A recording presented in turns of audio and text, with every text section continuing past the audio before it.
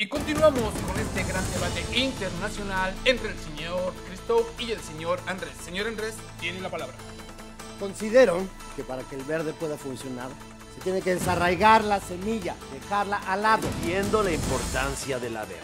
Pero si fueras un poquito inteligente, si tuvieras la inteligencia de un niño de cuarto año, entenderías que la roja ha conquistado el Pero mundo. la roja para que funcione se tiene que tostar. ¡Se tiene que tostar, pero a tu madre! ¡Tuéstate tú, imbécil! Tú! ¿Sabes qué? No, vete.